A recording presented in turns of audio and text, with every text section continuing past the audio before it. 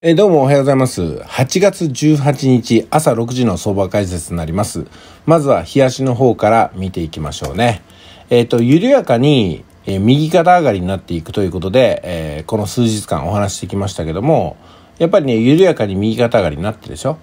えー特に昨日もそうですしね、えー陽線です。その前も陽線です。その前は陰線だったんですけども、ものすごく小さな陰線ですよね。その前も陽線、その前も陽線ということで、まあ陽線続きで、そして陽線のボラティリティも徐々に大きくなっていくところを見ると、緩やかな右肩上がりが、もうちょっと強めの右肩上がりにこれからなっていくんではないかなってことを予感させます。そのちょっと前の陽線っていうのは長いでしょ。だから急激な右肩上がりでは今のところはないわけですよね、この辺。まあでもこういう風な形で、えっ、と、この3つの価格帯をヒントにしながらね、右肩上がりになっていったのは、あ本当になんかこうトレンドに戻ってきたなっていうところですね。トレンドってのはこうですからね。こっちの方向。右肩上がりの方向ですから。はい。じゃあ4時間の方見ていきましょう。全体的には右肩上がりですと。4時間の方はどうでしょうか？4時間の方で注意しないといけないのが、ここなんですよ。材料が2度入りましたよね。だからこれをちょっとね、あの、塗りつぶして 考えていこうかなと思いますね。そうするとちょっと見やすくなるのは、あの、ガーンと下がった後に徐々に回復してきて、また上の方に上がってきたっていうところがね、シンプルに見えるわけですよ。で、えーこの、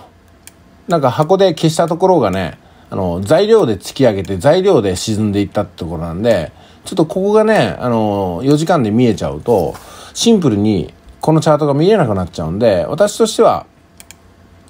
ここで底を打ったというふうに考えてね、えー塗りつぶしなし。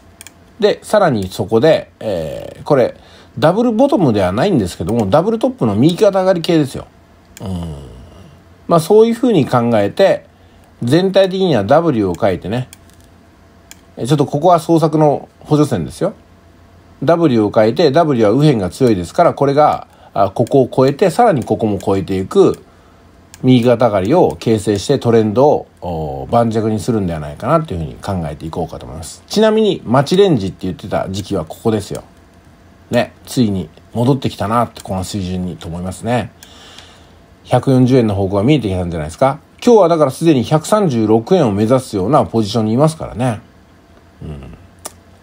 いや、ありがとうございます。で、え1時間の方を見ていくということなんですけども、1時間でまず真っ先に気にしなければならないのが、今、レンジのどこにいるかってことですよね。ここですよね。で、2つ目のレンジってのはここでしたね。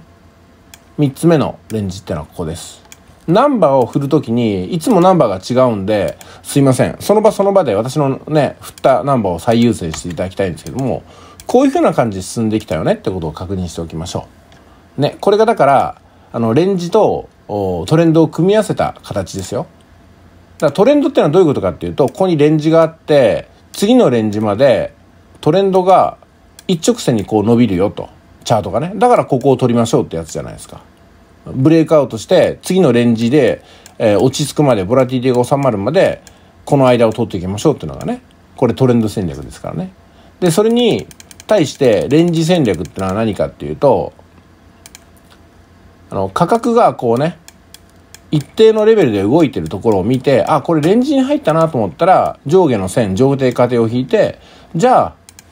ここに入ったら sell、ここに入ったら buy っていうふうに決めていきましょうねってやって、その後の値動きによってね、 sell と buy を繰り返していくって形でしょ